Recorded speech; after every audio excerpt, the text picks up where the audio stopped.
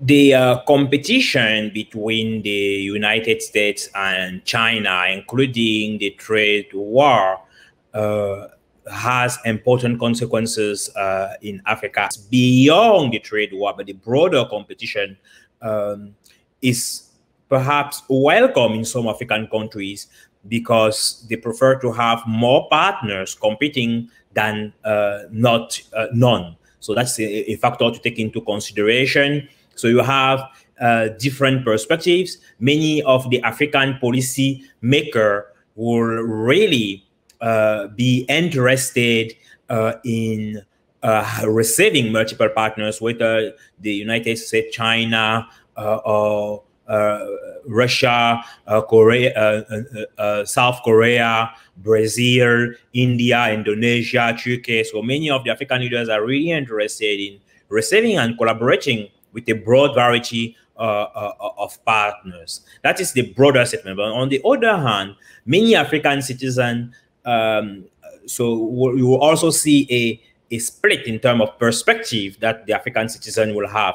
Some African citizen will think that dealing with uh, uh, partners such as the United States is a good thing uh, because you have a certain level of accountability that you may not always have uh, when you deal with the new emerging partners. For example, if an American is involved in corruption uh, in uh, Africa, uh, the likelihood of being uh, prosecuted when you have evidence is very high compared to some of the emerging partners.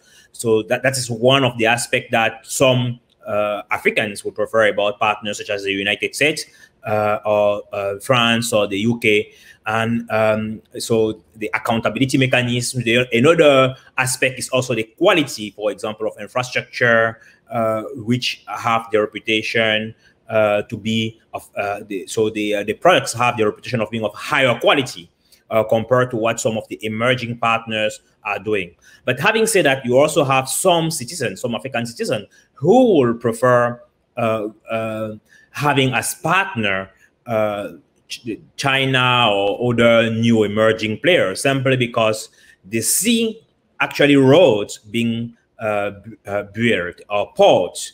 Uh, so, so they will see concrete outcomes uh, from the uh, Chinese involvement uh, in terms of quantities, and even if it is not always in terms of qualities, but uh, they will overall prefer to see new development than a lack of development. So, so those are uh, to a certain extent uh, the, the, the perception of African of Africans. But having said that, when the Afrobarometer survey asks a question about the aspirational model of development for Africans, quite a, interestingly, we have seen uh, the United States as the first model of development and China as the second.